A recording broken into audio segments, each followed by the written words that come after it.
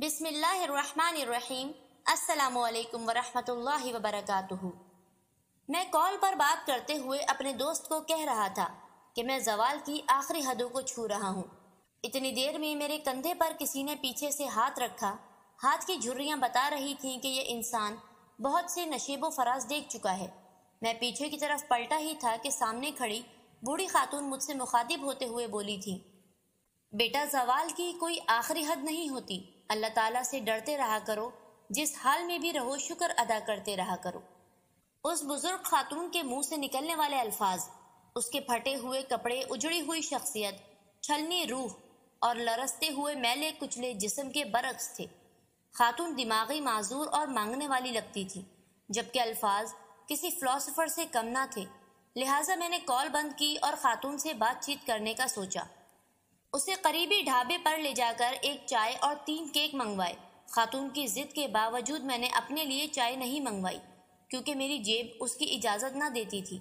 जब खातून लवाजमात से फारिग हो चुकी तो मैंने उनको मुखातिब करके जवाल की आखिरी हद के मुतालिक पूछा।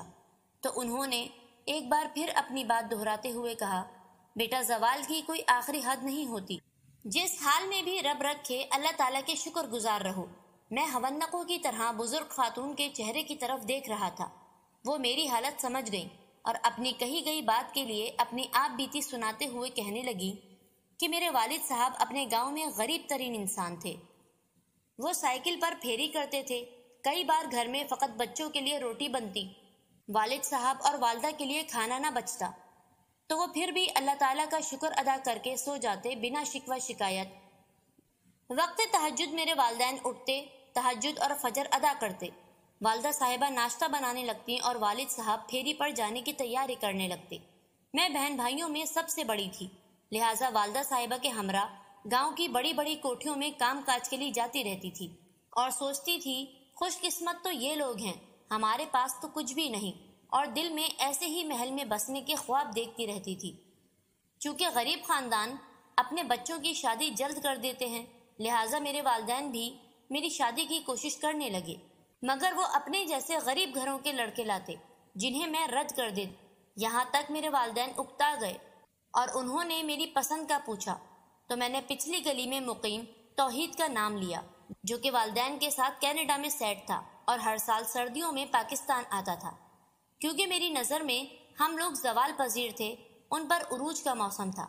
मेरी बात सुनकर वालिद साहब ने कहा कि अपनी हैसियत के हिसाब से ख्वाब देखो। वो लोग हमसे बहुत बेहतर हैं। मैंने साफ़ साफ़ कह दिया, शादी करूँगी तो वहाँ ही करूँगी, वरना नहीं। लिहाजा मेरे वालदेन ने मुझे मेरे हाल पर छोड़ दिया। और बाकी बहन भाइयों की तरफ़ मुतवजह हो गए। वक्त गुजरता गया।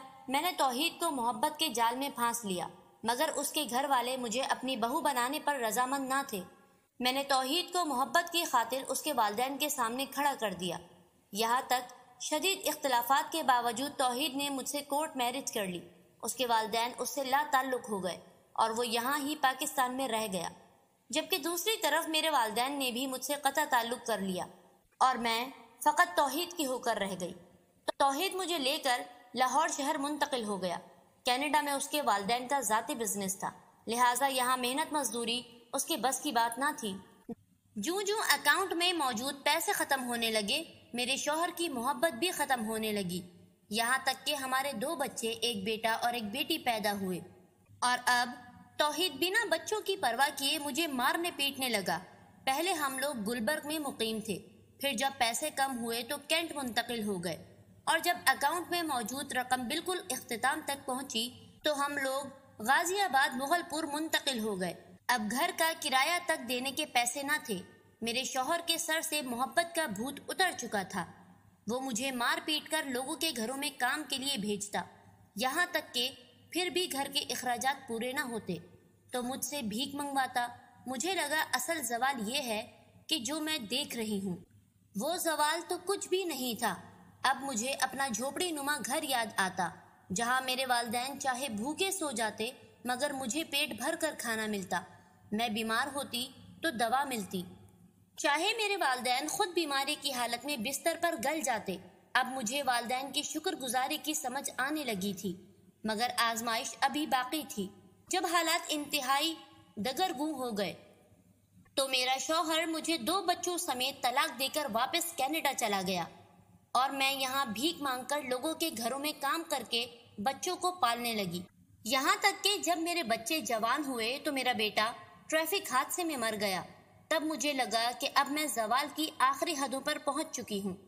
इससे ज़्यादा जवाल पजीर नहीं हो सकती।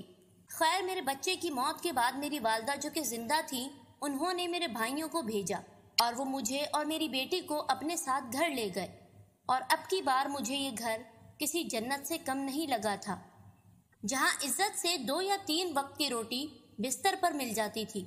मेरी वालदा मुझे पास बिठाकर समझाया करती कि बेटा हर हाल में अल्लाह ताला का शुक्र करते रहा करो।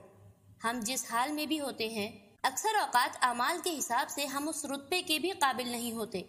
मगर मैं अपनी माँ को जवाब देती कि इससे ज़्यादा जवाल इंसान को कभी नहीं आ सकता। यहाँ तक कि मेरी वालदा मुझे समझाते समझाते चल बसी और मरते वक्त उन्होंने जो मुझसे आखिरी बात की, वो भी नसीहत ही की थी कि बेटा, अगर अल्लाह ताला की आजमाइश से निकलना चाहती हो तो हर हाल में अल्लाह ताला का शुक्र अदा करो, क्योंकि अल्लाह ताला जो भी करता है, हमारे लिए बेहतर करता है। मैं एक बार फिर अपने अल्फाज दोहराने लगी कि हम लोग जवाल की आखिरी हदों के भी आखिर पर पहुँच चुके हैं, मगर मेरी वालदा ने मेरे मुँह पर हाथ रख दिया और कलमा तय्यबा का विरद करने लगी। जल्द ही उनकी रूह, उनके जिस्म के पिंजरे से आज़ाद हो गई। अलबत्ता, उनकी नसीहत मुझे उनकी ज़िंदगी में समझ ना आ सकी। बाद में मुझे सबक मिल ही गया। वालदा साहिबा की मौत के चंद दिन बाद मेरी बेटी रातों रात अपने किसी महबूब के साथ फरार हो गई। तो तब मुझे पता चल गया कि जवाल की कोई आखिरी हद नहीं होती। हमेशा आगाज़ ही होता है।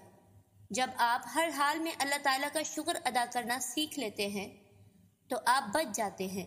आप जवाल पजीर कभी नहीं होते। अगर जवाल के आगाज़ पर आप नाशुक्री और अल्लाह ताला से गिले शिकवे करने लगते हैं तो आप मजीद जवाल में गिरते जाते हैं। यहाँ तक कि आपको समझ आ जाती है कि जवाल की आखिरी हद नहीं होती।